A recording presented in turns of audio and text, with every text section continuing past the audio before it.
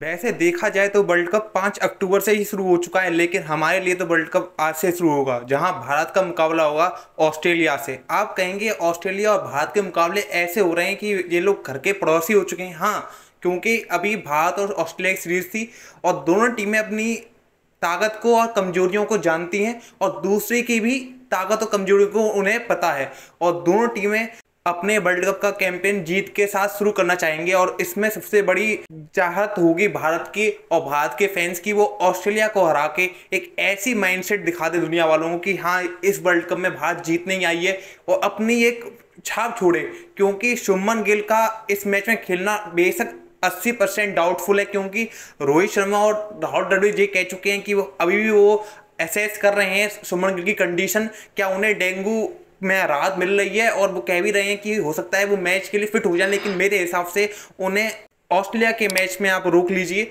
अगर शुभमन गिल की तबीयत भी ठीक है नहीं, अगर आपने ऑस्ट्रेलिया के मैच खिला लिया बाद में उन्हें ज़्यादा दिक्कत हो गई तो हो सकता है वो वर्ल्ड कप के तीन से चार मैच मिस करें तो वो इंडिया नहीं चाहेगा। तो एक मैच के चक्कर में आप चार मैच बर्बाद नहीं होने चाहिए, इसलिए मैं कह रहा हूँ आपको शुभमन गिल को रेस्ट देना चाहिए और आप ईशान किशन से ओपनिंग करवा सकते हैं। ऑस्ट्रेलिया की ताकत उनकी बल्लेबाजी है, लेकिन सबसे ज़्यादा ताकत उनकी बॉलिंग में आती है, क्योंकि भारत के सामने उनकी शुरुआत के दो मैचों में इतनी अच्छी बॉलिंग थी नहीं, क्योंकि उन्होंने अपनी प्रॉपर टीम खिलाई नहीं, लेकिन आखिरी मैच में जब उन्होंने प्रॉपर टीम खिलाई तो वहाँ भारत को हार का सामना करना पड़ा। और ऑस्ट्रेलिया वही चाहेगी आखिरी ओडिया में जो काम किया था, वो इस वाले वर्ल्ड कप के मैच में करें। भारत की टीम हम देखें तो भारत की अभी भी कमजोरियाँ हैं क्योंकि अक्षय पटेल का इस टीम में ना होना वर्ल्ड कप की स्क्वाड में तो बहुत बड़ी समस्या दिखाई दे रही है क्योंकि रविंद्र जडेजा की फॉर्म बिल्कुल भी अच्छी नहीं चल रही है। और मुझे लग भी नहीं रहा कि वो अपनी बैटिंग से कुछ ज़्यादा इम्प्रेस कर भी पाए हैं भारतीय फैंस को। तो रविंद्र जडेजा को अपनी बैटिंग से कुछ रन बनाने के लिए अपने आप को मोटिवेट करना पड़ेगा। वहीं देखा जाए तो विराट कोहली की जब प्रैक्टिस कर रहे थे आज तो उनकी बैटिंग मुझे ज़्यादा अच्छी लगी नहीं, क्योंकि बहुत ज़्यादा बीट हो रहे थे। आप मुझे लग रहा है कि विराट कोहली ज़्यादा दबाव ले रहे हैं अपने आप पर। उन्हें थोड़ा रिलैक्स होके अपनी बस माइंडसेट को सही करना पड़ेगा, क्योंकि विराट कोहली वो प्लेयर हैं जो अपनी कॉन्फिडेंस से खेलते हैं। अगर विराट कोहली का कॉन्फिडेंस अच्छा है होगा तो वो किसी भी बॉलिंग लाइनअप को उसकी औकात दिखा सकते हैं। तो विराट कोहली भारत के लिए वो कड़ी हैं, जिससे ही भारत की टीम वर्ल्ड कप की ओर जाने के लिए तैयार होगी। पर बात करना चाहूँगा मैं जसप्रीत बुमराह और मोहम्मद सिराज की। अगर भारत को अला मैच जीतना है तो इन दोनों को विकेट लेने पड़ेंगे शुरुआत के ओवर में।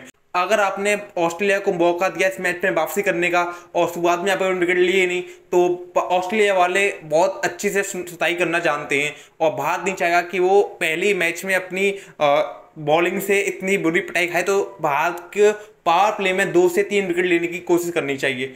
अश्विन का टीम में आने से क्या भारत की स्पिन ज़्यादा अच्छी होगी मुझे नहीं लगता क्योंकि अगर आप मुझसे पूछेंगे तो मैं अश्विन की जगह यूजी चहल को टीम में शामिल करता लेकिन उन्होंने अश्विन को शामिल किया है। और अश्विन ने जो प्रैक्टिस करी उसमें अपनी बॉलिंग से ज़्यादा उन्होंने बैटिंग पे काम किया है। उन्हें पता है कि भारतीय टीम और जडेजा पर ज़्यादा डिपेंड नहीं कर सकती लोअर मिडल ऑर्डर में क्योंकि अश्विन जैसा प्लेयर जो बैटिंग से भी रन बना लेता है उसे भी हमें आ, मौका देना पड़ेगा। और अश्विन और अश्विन भी चाहते होंगे कि वो भारत के लिए अंत के ओवर में रन जोड़ के भारत का स्कोर बड़ा कर दें।